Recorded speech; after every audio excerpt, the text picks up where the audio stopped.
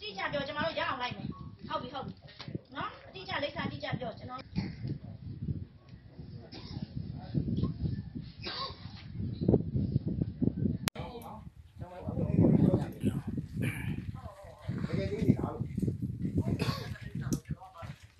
ဗမာပြည်မှာအလုတ်လက်မဲ့တွေဖြစ်နေတယ်။ဒီနေ့ဝေလောအားကရတာ၄000လောက်ကိုနေ့တင်နေ့စဉ်ပုံမှန်မရဘူး။အဲဒါကြောင့်မလို့ထိုင်းနိုင်ငံမှာအလုတ်ကလေးများကောင်းမလားဆိုပြီး သွားကြတာပေါ့ဆရာသွားတော့ကိုရောက်ကြတော့ဒီလိုမျိုးပြောတဲ့နေရာလည်းမရတနေရာရအဲ့လိုမျိုးတွေကြတော့ဒုက္ခတွေရောက်တာပေါ့ဆရာစောက်လို့ရတော့မှန်ပါတယ်ဒါပေမဲ့ပြောတဲ့နေရာနဲ့ပို့တဲ့နေရာနဲ့ကတခြားစီပဲပေါ့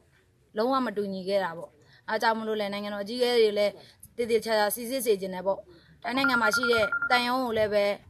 အလုသမားရေးရရုံးတွေကိုလည်းပဲအလုတ်ကိုတည်တည်ချာချာလေးလုပ်ပေးစေခြင်းနဲ့ပေါ့ကိုအရင်တော့ကလို့ထိုင်းနိုင်ငံကမကောင်းတော့ပါဘူးထိုင်းနိုင်ငံမှာဘတ်၅တန်းတွေခံရတဲ့ကလုံးဝအဆင်မပြေတော့ပါဘူးအဲ့ဒီဘတ်၅တန်းတွေရှိနေသူတွေကတော့ဗမာပြည်သားတွေဒုက္ခရောက်နေအောင်ပါပဲ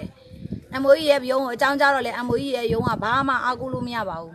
ဒါကြောင့်မလို့ MOE ရဲ့ကရုံးကအရာရှိတွေကြီးကဲပိုင်းတွေလှုပ်လှုပ်ပေးကြပါခုဝိုင်းဝန်းကူညီကြပါလို့ညီမတို့ကဒီနေရာကပြောချင်ပါတယ်ကျွန်တော်တို့နစ်နာခဲ့တယ်ပေါ့အဲ့တော့နစ်နာတဲ့ခါမျိုးမှာကျတော့ဒီ ကျွန်တော်တို့ဒီကြောက်လင်းစခန်းကတောင်းရှိသူတွေနဲ့ဒီဒီမှာထိုင်းနိုင်ငံကတန်တန်ရုံးကပေါ့ကျွန်တော်တို့ဒီအရာအရာရှိအရာခံတွေကကျွန်တော်တို့ဒီလူကြောမွဲတွေကိုပဲဒီလိုပဲကြည့်နေတော့မှာလားသူတို့အနေနဲ့ဒီကျွန်တော်တို့ဟိုနိုင်တဲ့စီးနေဟိုဘက်မှာရောင်းစားခံရတာမျိုးကိုသူတို့ဂျမ်မင်လက်ပိုက်ကြည့်နေတော့မှာလားကျွန်တော်မေးချင်ပါတယ်ဟိုဘက်မှာခံစားခဲ့ရတာသူတို့မသိဘူးလေကျွန်တော်တို့လည်းဒီမှာရောင်းစားတာဆိုတော့ကျွန်တော်တို့ဘယ်သူမှအထောက်အကူပေးဘူးပြုတ်မပေးဘူးဟိုဘက်ထဲမှာကျွန်တော်တို့ကိုကိုလှုပ်စားနဲ့ကိုစားလုပ်ပြီးစားပြီးတော့သူတို့လိုလုပ်ပေးနေရတယ်ကျွန်တော်တို့ဆိုရင်ဟိုဘက်မှာ စားကြရမရှိလို့ကျွန်တော်တို့ခွေးတွေကောက်ကြော်စားအဲ့လိုပေါ့နော်အလုပ်လုပ်နေရင်ဒီဘက်ပလိတွေဝင်ဖမ်းကျွန်တော်ပြေးရအဲ့လိုမျိုးတွေပြီးကြတော့မင်းတို့ဒီပလိတွေဖမ်းတဲ့အကောက်ရွေးပေးရတယ်ပေါ့ကျွန်တော်တို့လောကကလည်းဖြစ်တယ်ဆိုပြီးကျွန်တော်လောကကတရားမှမများခဲ့ဘူးအရင်ဟိုမှာဘယ်လိုပေါ့ဒီကဒီမှာစားချုပ်ထားတဲ့အတိုင်းတော့လင်းနေပြအောင်လုပ်မယ်အဆင်ပြေဒီဘက်မြန်မာနိုင်ငံပြန်လာပြီးမြန်မာနိုင်ငံမှာဒီဘက်တိုးတက်အောင်လုပ်မယ်ဆိုပြီးစီစဉ်ထားတယ်ဒါပေမဲ့တော့ဟိုဘက်မှာအလုပ်သာလုပ်ခဲ့တယ်တရားမှမများခဲ့ဘူးဒီ agent တွေဒီ agency တွေဒီလိုမျိုးပုံစံမျိုးနဲ့တက်ရမယ်ဆိုကျွန်တော်တို့ဟိုဘက်မှာဘယ်လိုခေါ်မလဲကျွန်တော်တို့တက်ပဲတည်မလား ဟိုငက်ပြီးတော့ပဲဒီဘက်ဒီပြန်လာတော့မှကျွန်တော်လမ်းစီမရှိပဲနဲ့ဒီတိုင်းဟို AC ကိုအားကိုးပြီးတော့ကျွန်တော်တို့ချိတ်ပြီးပြန်လာရတယ်ဗျနောက်တစ်ခါပြန်တက်ဖို့ဆိုတာဒီ agent မျိုးတွေဒီလိုမျိုးဖြစ်နေမယ်ဆိုရင်တော့ပြန်တက်ဖို့ဆိုတာမဖြစ်နိုင်တော့ပါဘူးဟုတ်ပါဒီဒီဘာမှလုပ်စားရမရှိဘူးလေဘာနိုင်ငံမှာလုပ်လုပ်စားရမရှိတော့ဟိုဘက်နိုင်ငံမှာအဲ့လိုမျိုးဟိုဘယ်လိုခေါ်မလဲ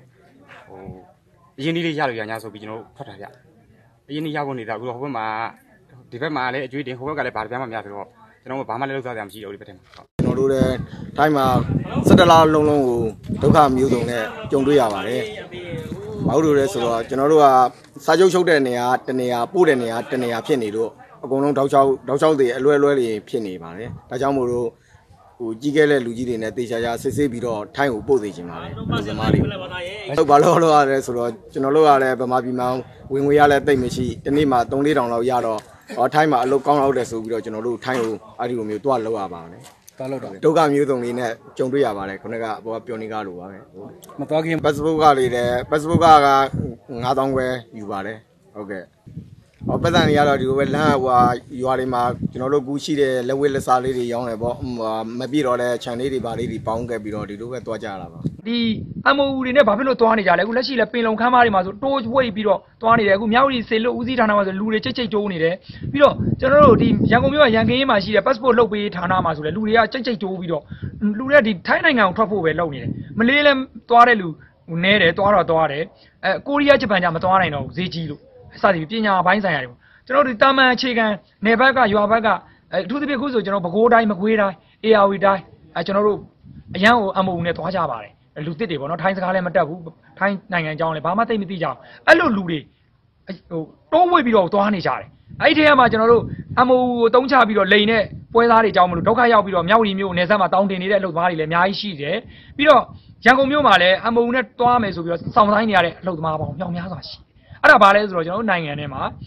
ဒီလုပ်သားတွေပြပကိုမထွက်ခွာအောင်လုပ်ငန်းခွင်ခွင့်ရေးနဲ့လောက်ကင်ခွင့်လန်းတွေရှာဖွေမပေးနိုင်ဘူး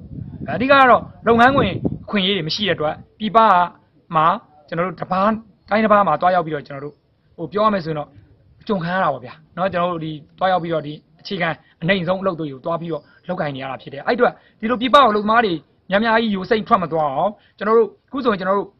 ကိုယ့်ရဲ့ပြည်တွင်းဝင်ငွေတွေပြည်ပကိုပြန်စီးဆင်းတာပေါ့နော်ဒါဥမာတယောက်ကို10သိန်း7သိန်းပေးရတယ်ဆိုတာကိုကိုယ့်ရဲ့လောလောဆယ်လုံသမားထိုင်းရောက်သွားဖို့ကိုယ့်ငွေကိုယင်ပေးနေတာအဲ့လိုငွေချင်းဆုံးရှုံးမှုတွေလည်းဖက်ကိုတန်ရာနဲ့ထောင်လဲရုပ်ချိနေပြီပေါ့နော်ဗမာငွေဆိုရင်အဲ့တော့ကျွန်တော်ဒီလုံသမားတွေပြည်ပကိုအများကြီးမထွက်ခေါအောင်ကျွန်တော်နိုင်ငံနေနဲ့အလောက်ကိုင်ခွင်လွှမ်းနေနဲ့နိုင်ငံတကာစက်ယုံတွေလုပ်ယုံတွေကိုကိုယ်နိုင်ငံများများလာကြအောင်စီယုံသိမ်းသွင်းပြီးတော့ကျွန်တော်တို့